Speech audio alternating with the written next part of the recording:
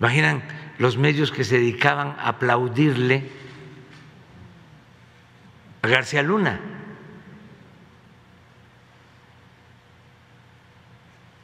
Ahora están callados. Por eso repito que le reconozco a Marín, que salió a la defensa, porque otros no dicen ni pío,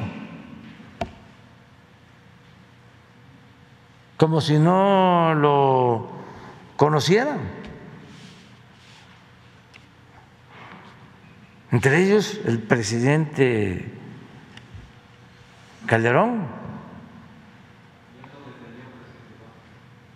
Sí, pero debe dar una explicación.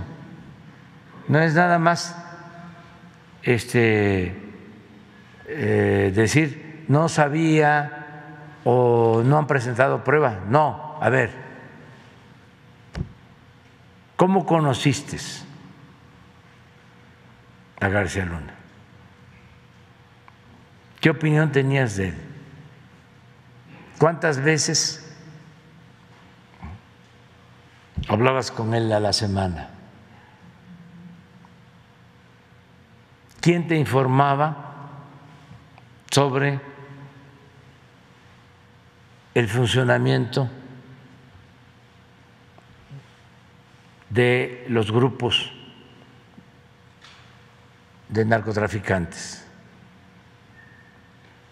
¿Le tenías confianza?